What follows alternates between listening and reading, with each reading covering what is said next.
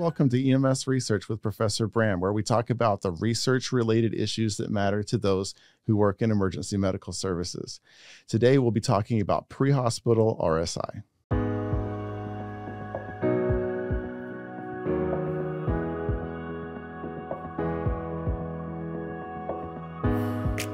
Welcome to EMS Research Vlog and Podcast from the studio here in Houston, Texas. I'm your host, Bram Duffee, a full time paramedic who works in an ambulance, just like many of you. I'm also an assistant professor of communication at Kennesaw State University, and I have an appointment at the Institute for Social Innovation at Fielding Graduate University. So, before we get started, I want to share a couple things. First, I actually have a research study that's in progress, and I'm opening it to first responders. So if you want to be part of it, come check it out at the website professorbram.com, professorbram.com, and you can click on the research tab to apply and look more. I also want to share that I've written two books on communication, and the most recent book has been just released called Hypnotic Communication in Emergency Medical Settings for Life Saving and Therapeutic Outcomes.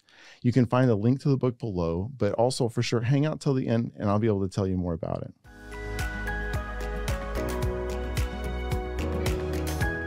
Recently, I've been able to spend some time on the website of the International Pre Hospital Medicine Institute. And I just want to highlight their work right now because of their really cost affordable books for training. And the coolest thing that I found on their website was that they right now have literature reviews that are out for each year. This is only volume five, but I got volumes one through five, and they are able to connect what research is out there to the field perspective because they give little tidbits for each research article that comes out. And so these are available at a super cheap price. I know they're not making any money. I think it was like $5. So I just wanted to mention that. And I think uh, they come through Amazon, but also through their website is iphmi.com. So that's the International Pre Hospital Medicine Institute. They're doing some really cool stuff. I just wanted to highlight it. Next up, we have Penny Chiasson, who's really a gem to join us today because she's a woman of intelligence and experience and talent. And Penny has this rich career in nursing that began back in 1994. And her most significant contributions in healthcare came about through her working as a, a registered nurse and then a nurse anesthetist. And all of this stuff has set her up for us to be able to talk more about research articles together that have to do with airway. And the other thing that is really cool on the side is that she's a board certified hypnotherapist. And so, as a hypnotist, she is really able to give different perspectives on this as well as having that connection with me because my book has that um, connection with hypnosis. So, it's all pretty neat stuff. You know, She's the founder of Genesis Hypnosis Services and Training based in Philadelphia. I just want to say hey and ask did I uh, did I miss anything? you didn't miss anything and first of all I want to thank you for inviting me onto the show. I really appreciate that.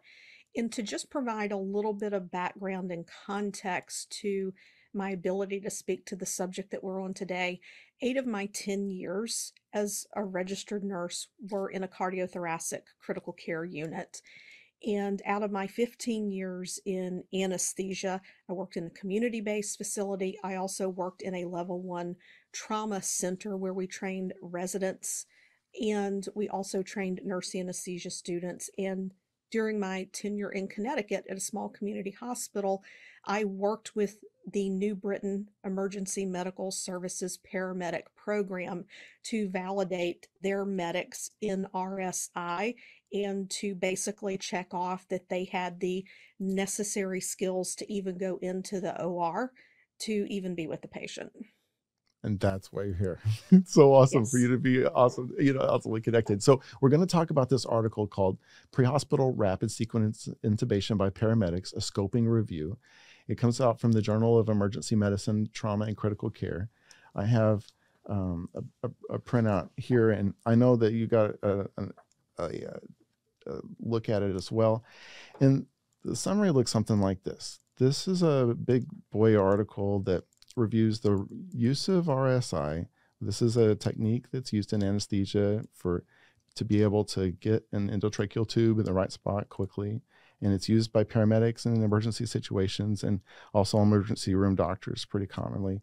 And the focus um, of, of, RSI um, is really based on the, the, the, anesthesia part is this fourth step that really causes uh, full loss of consciousness and the muscle paralysis. And so there's some controversy over the safety and feasibility of using anesthesia agents, and especially in pre hospital situations by paramedics. And so the review aimed to describe some of the common indications for RSI and what the, the complications were that were out there and some of the anesthesia agents that were used and the success rates. And so this whole research study that that they were doing went from January of 2010 up through March of 2021. So kind of a big long deal. And indications for performing an RSI include decreased consciousness, airway obstruction, respiratory failure, burns, shock, transportation considerations, or aspiration.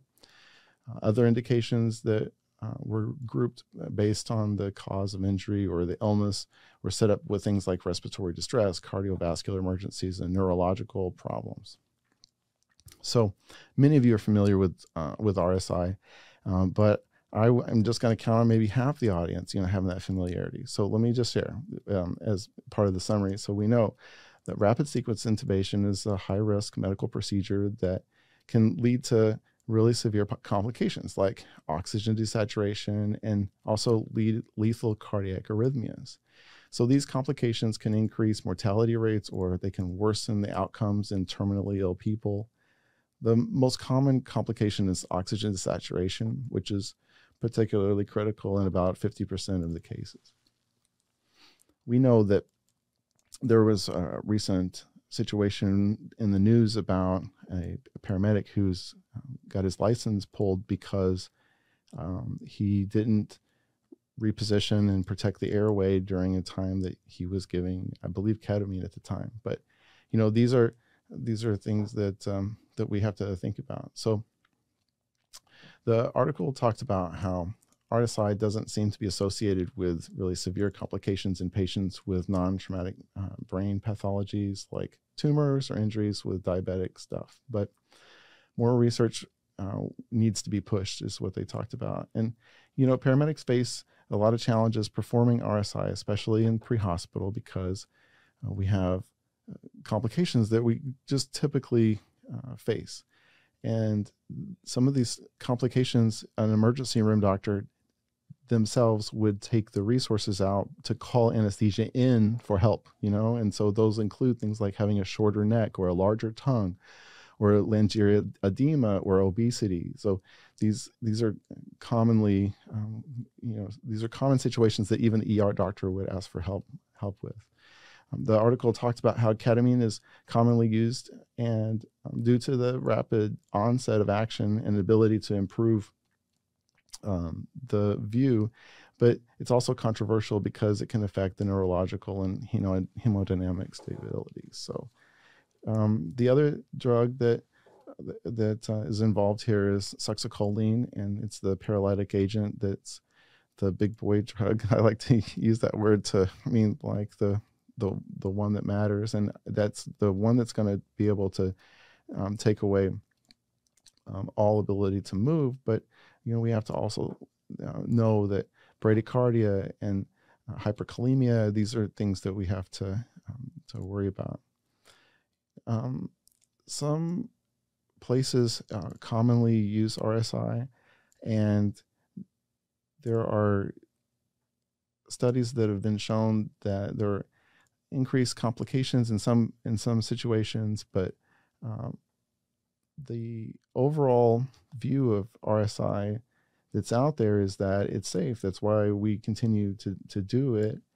And I want to bring an expert here, like I like I did with Penny, to be able to sort of break some of this down because I know that I've been in situations where um, just to be not not that I want to be graphic, but I've been in situations where I was fighting really hard to keep a patient alive, and the main problem is an airway. And so we get into um, situations where we have clenched teeth and vomiting, and um, you know, and you add that to a patient that's confused and um, combative, and you know, it's a real you know, nightmare situation. And back before we had RSI, I um, were I have been was in situations where we use those mouth screws, which um, are used to uh, stick in between the teeth and twist so that you can get their mouth open in situations like that where you're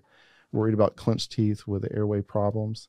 And so, um, you know, uh, I, have been from in, in, from situations like that into situations where I had to um, start with a pediatric uh, oral airway and then uh, sort of like stick that in and crank open the mouth and then you just keep moving up sizes you know until you can get the mouth open more and more. I mean just really dramatic things happen happen uh, when you don't have the ability to sedate your patient. But i guess what we're talking about is that the balance of you know not being able to versus um, uh, versus the ability to. And so, Penny, as a nurse with your specific experience, tell me about your thoughts on, you know, I am biased. So that's why I wanted to kick this over to you. Tell me about your, you know, thoughts about the proficiency and um, the ability for paramedics to pull this off. Yeah, so I think it's a great question. And where I'm going to start with is that the environments in which paramedics are working, and I, I'm not talking about this scene, I'm talking about whether you're in rural America, you're in an inner city, you're in a hospital that's in the suburbs, your exposure to patients in situations in order to maintain those skills once they're acquired is hugely varied. And in my experience, uh, when I was in New England because at several of the hospitals where I trained and gave anesthesia, we would have paramedics come through on rotation. And the minimum required number of successful intubations in order to be signed off was 10 successful intubations. Now, as a anesthesia provider and an in-hospital provider, I want to be very clear that that's the perspective my next statement comes from. I find that woefully inadequate. However, it's more about having the skills and the technique because the job that a paramedic doing is doing is securing an airway in an emergency situation where you're looking at life or death. You're not in the OR giving an elective anesthetic. You're not in the emergency room stabilizing somebody up to the critical care unit or to the OR for trauma surgery. You're you're literally making a call. And I believe that as long as the awareness of the minimum safety standards and knowing the anatomy and having the muscle memory and the skills to manipulate the airway, I believe that's a good start, provided there is continuing exposure to controlled situations to maintain those skills because a medic may be in an area where you know you don't see that many calls where you actually need to perform um, intubation. And so i think that the variety of situations and working environments that medics find themselves in has to be a paramount consideration in this discussion.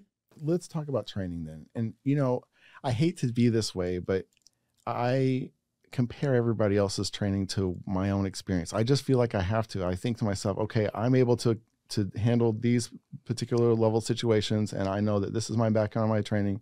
So I just compare myself to everybody else. And so one of the things I want to ask you about is I want to understand a little bit more about like what your training is because we have to really be able to compare that to what a paramedic's training is because so when i went through paramedic school of course it was 25 years ago i did clinical rotations so that i went to the or and i did work with anesthesia to do intubations but and this may be hard for some people to hear, but the truth is that I had a huge amount of intubation practice on cadavers, huge amount. And the Yeah. reason is because, you know, we work in a clinical learning environment all of the time. And, you know, we work a code, the, the, the person died, the, you know, the person is getting ready to get shipped off to the morgue. And before they go to the morgue, oh, by the way, where are the students? And this is how we learned. And so the emergency room doctors or the, you know, whoever the provider that was there in the environment happily would teach, show anatomy, let you uh, practice.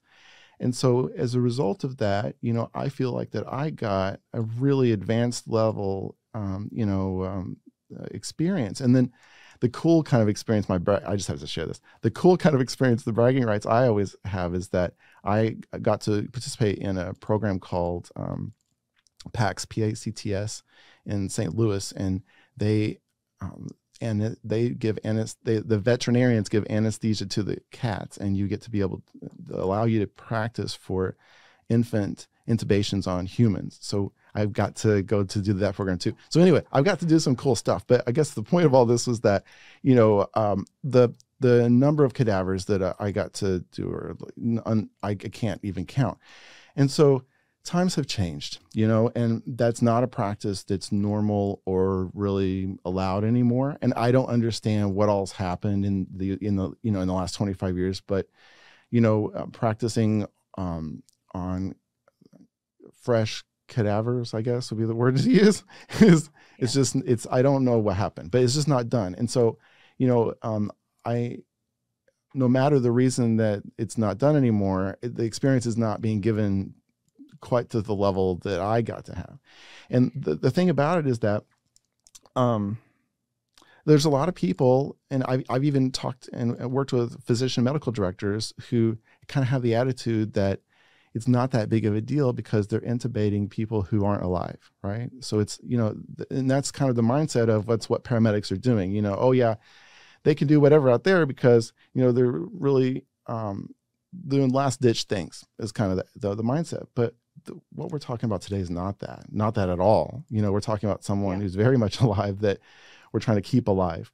So I, I should just I just dumped a whole bunch of stuff on you, but the point is Yeah. I want to know more about you know what you went through to, to get there because it's a lot different than Yeah. well a lot of paramedics today are able to. I'm sure. Right. So, especially when paramedics go into the OR and places like that to train to intubate, you have to think about, you know, again, the, like you mentioned, the process that I went through when I trained. Now, we intubated mannequins, but you probably know the mannequins I talk about. They're the ones that are stiff, and if you barely touch the Mhm. teeth, the teeth click. You can't manipulate an airway, and the anatomy just doesn't look like human anatomy. I never intubated that mannequin successfully before I went into the OR. But when I went into the OR, of course, the focus initially was can you mask? Can you adequately mask ventilate? Like that's a skill Mhm. you have to have Mhm. before you even think about rapid sequence induction, unless you're dealing with a patient who's vomiting and all of those things, right? Mhm. So you need to be able to manage that airway.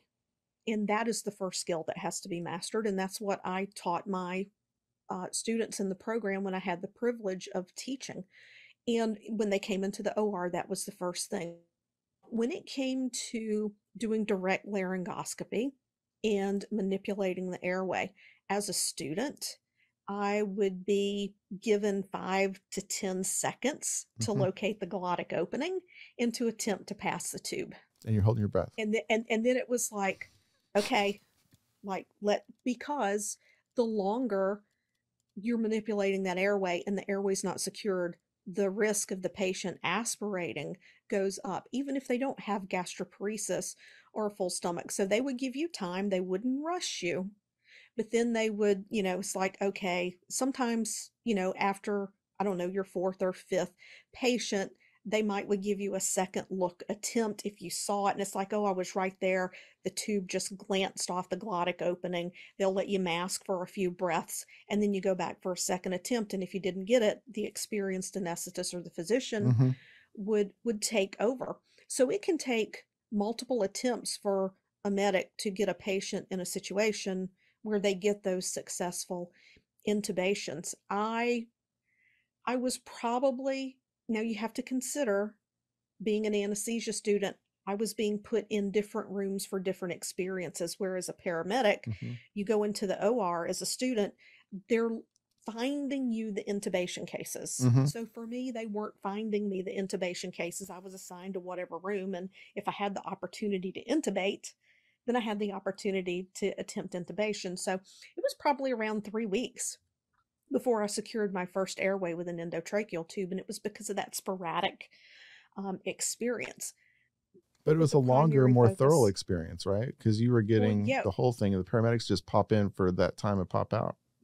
Yeah, it was, we had 15 months of clinical, hmm and, but it was again a variety of situations. But you had to have those intubation skills solid. They gave us like three months before they started letting us rotate through being in a room giving an anesthetic alone. Because if something happened during the course of a sedation or using a laryngeal mask airway and we started to have airway problems, they needed us to be able to recognize that, to be able to mask and call for our backup immediately. hmm We weren't allowed to attempt intubation at all hmm uh, without a physician there. hmm So I think that's really the difference in the training. I I do remember periodically seeing residents or uh, probably not a paramedic student because I never saw them in the ICU, but being allowed to attempt intubation on someone who had who had just expired.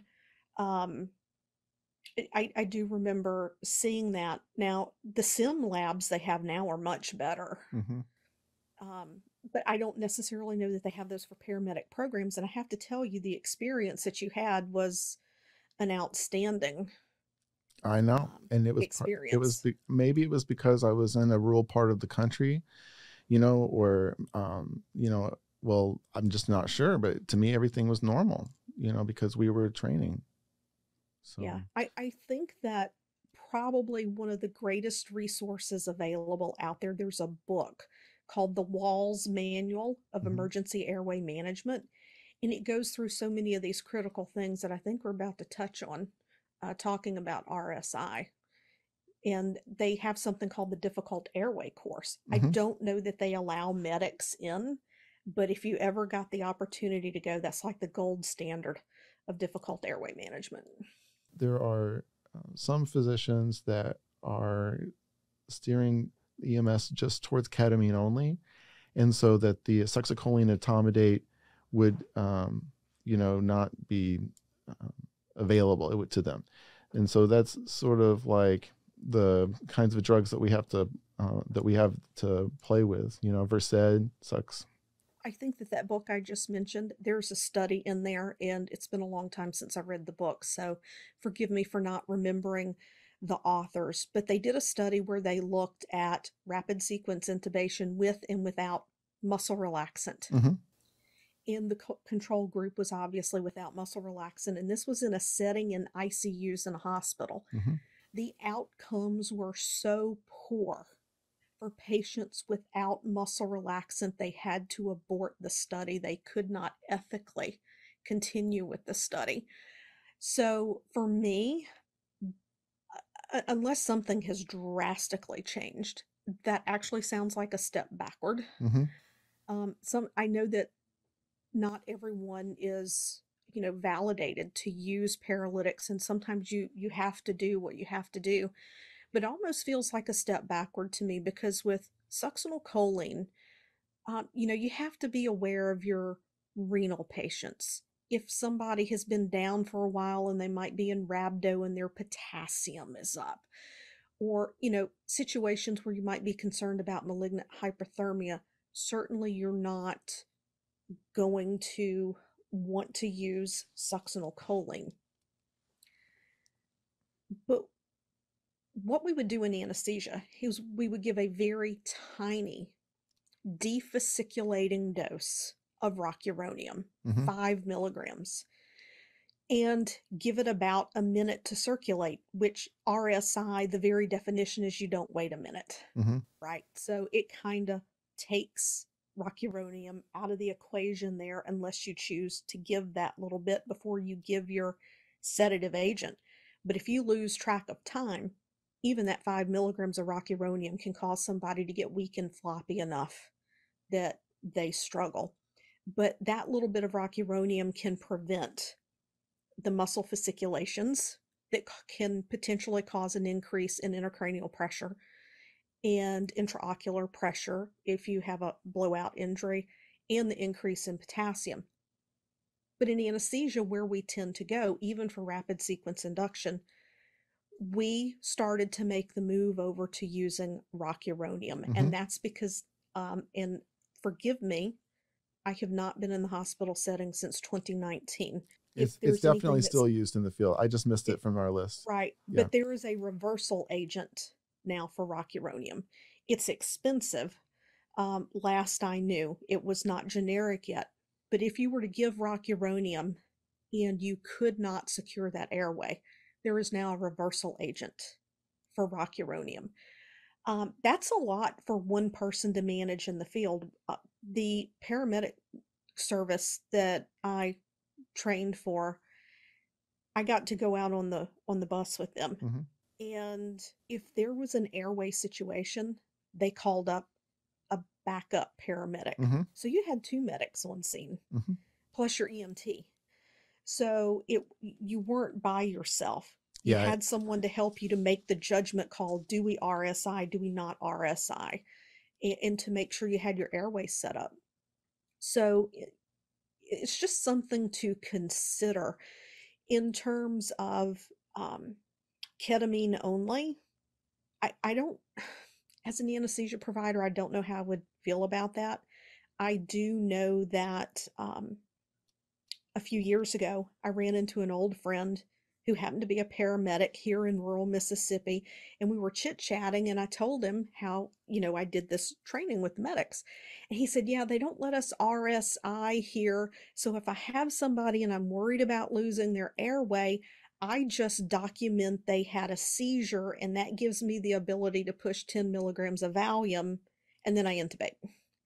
And I, I was mortified hmm right? That Yep. somebody gets into a situation where they can't manage an airway hmm or they're have such significant concern for an airway and being able to take safe care of that patient that they would say they witnessed a seizure that they did not witness Yeah, it's to be totally able to use a unethical. It's medication wild. like Valium to to intubate. And did I go out and report this person? No, it it it doesn't pertain to me, and it was shared with me like it's not an uncommon practice. So what I would think should happen it would be that if you're in a situation as a paramedic where you have those types of protocols, then what you should do is call the physician medical director on the phone at 2 a.m. and say, This is my patient, this is what's going on. And then absolutely they'll be able to give you orders to give that 10 milligrams of Valium. And and I've actually been in a really sim- similar scenario to, to that. And that's Yeah. what happened. And that's um, I'm pretty sure across the board, of the whole country, that's pretty much the standard, you know, of what you would have to do. But there are uh, Yeah. some providers that um, that only require that one paramedic be there, and I think it's maybe it's the uh, depending upon the service. You know, some ambulance services there's only one ambulance. So, but I've always uh, been an advocate for and appreciated those systems where I worked in, and that gave uh, two paramedics as a requirement. And you know, part of it is that um, the the first thing that you mentioned, which is most important, maintaining an adequate seal on that mask and, and ventilating for that patient and keeping that going. You know, like um, someone needs to be keeping an eye on that happening all the time. So you know, while you're doing that, you're also doing drug calculations to figure out, you know, your kilograms conversion and then your drug conversions, and then you have like three syringes to draw up. You have, you know, all these all these tasks that um, are really asking a lot of one person. Um, and Yeah. so that's, yeah, I, I'm, I'm with you on that too. I think as healthcare providers, we get jaded on that because we have so much staff around us. And sometimes we think, how can one person do that? But I can tell you, I've worked call, I have been sent emergently to OB. Um, I had to ha- talk about difficult airways and needing to rapid sequence OB. I got called up one day and I'm sitting at the desk. I'm prepping to do an epidural on somebody, and a nurse runs out of another room and says, "Get everybody in the C-section suite now." And I'm I knew something was wrong, hmm and I went running in, and the patient was abrupting. So it was a whole hemorrhagic hmm situation, and you know, I called my backup and there were emergencies in the OR. There was no one to come back me up. hmm And so I'm calling for emergency blood and all the things. And, you know, it's just that rapid check. Can I pressurize my oxygen? Does my blade have a light that works? Is my tube ready to go? Do I have my drugs? And just boom, boom, boom. So, can one person do it? Yes. Yes. I, but, I think, you know, especially like emergency physicians, you're accustomed to having nurses drawing up your meds and respiratory fixing your tube. It, it's totally doable. It's just in the field, you you have a lot of other considerations. You even have scene safety to bring into the mix hmm of preparing to do this RSI. Tell me for you, if you were stuck in the field, what would be some of the reasons that you'd say, okay, this this is definitely an, an intubation case versus a BiPAP case, or Yeah. So so if I had monitors, right? yeah, yeah, if I had monitors, if they were unable to maintain adequate saturation with the maximum oxygen I was providing, even if they were breathing on their own, you know, if, if their SATs are consistently, I don't know what your guidelines are, but me as an anesthesia provider, if their SATs were persistently in the 80s and I could not get them up to 90 or greater, um, then that would probably be a call. Um, if I had exhausted suctioning, positioning, hmm like all, all those things, which you may not have the luxury for in the field. The other thing is if they can't maintain their airway, like if they're getting hypercapnic and they're hmm getting somnolent, they they're losing their reflexes, they can't maintain that airway, or they are clearly physically exhausted. That's what I was getting ready to say. They look tired, right? That's the what yeah, you're pushing towards. Okay. yeah, if they're clearly physically exhausted, then if you it's a judgment call, right? And I think this is where people get into uh, a expertise contest. I'm going to hmm say it nicely, I won't say a bad word. They get into this contest over who has the better education to make that judgment call. hmm Because sometimes you could stretch them out another 15, 20 minutes, which might get you to the ER.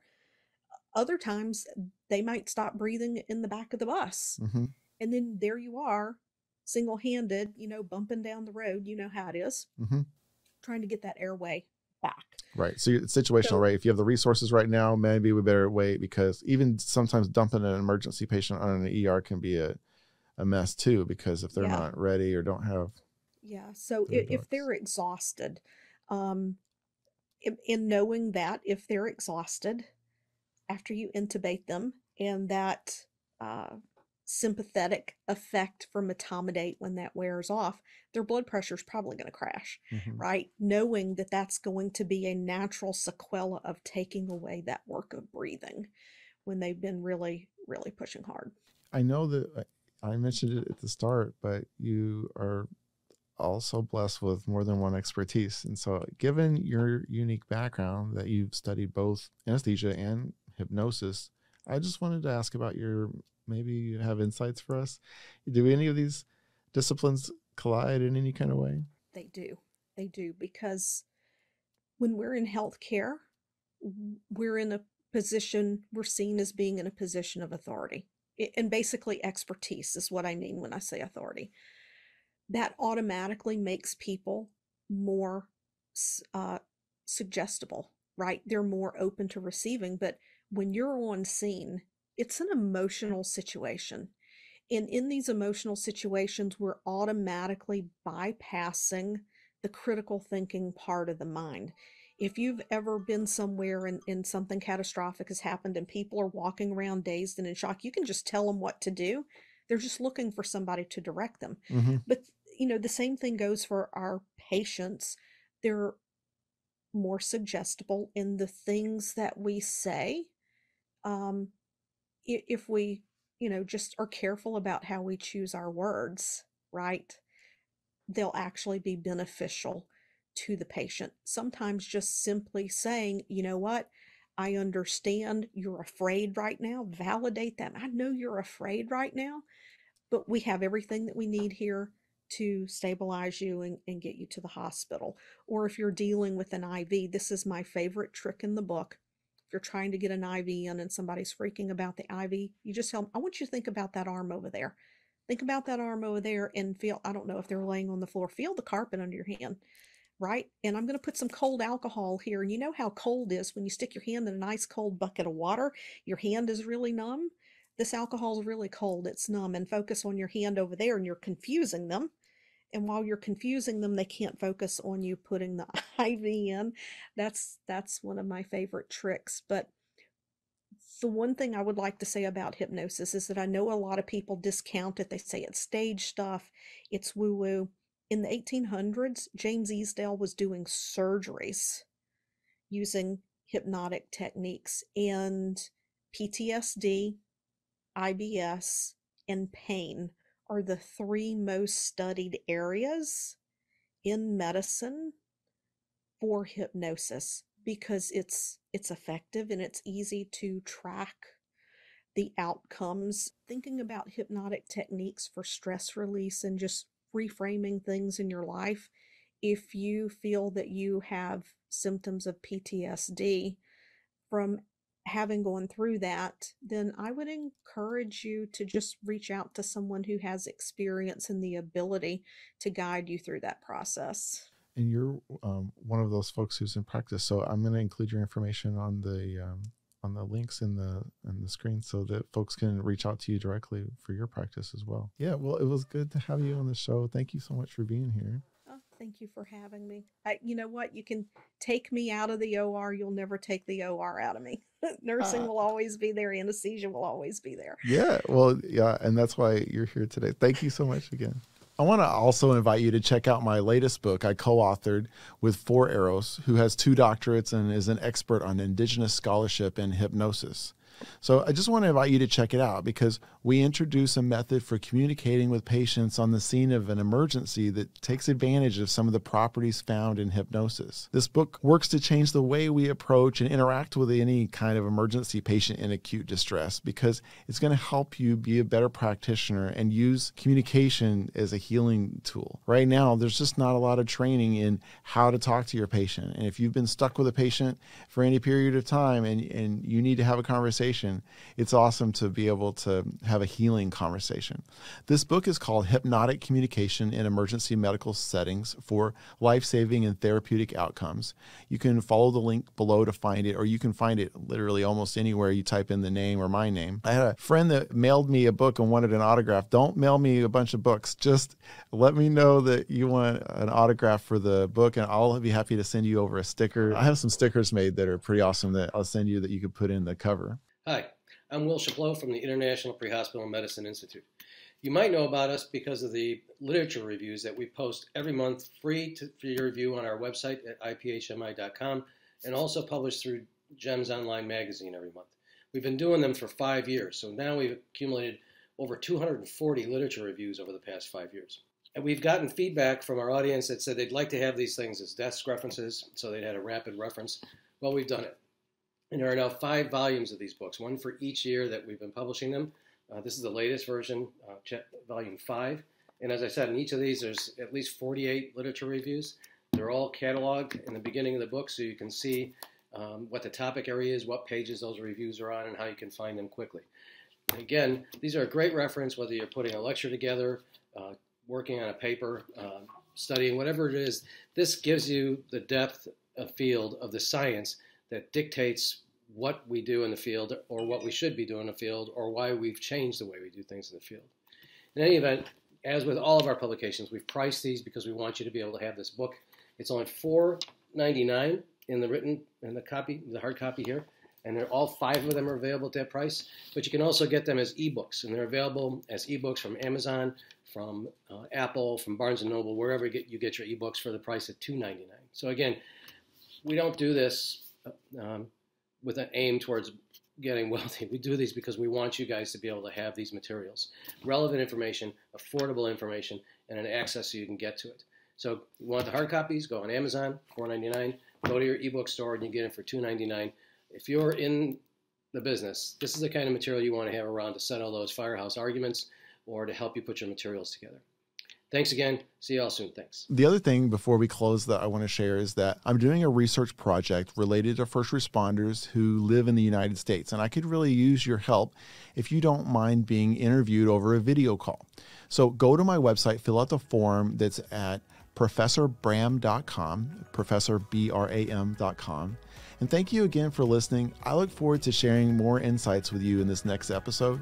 If you enjoy EMS research, please tell your friends, like, share, and subscribe to help others get the message. And then stay tuned for the credits at the end so you can see the research articles that we talked about in today's episode.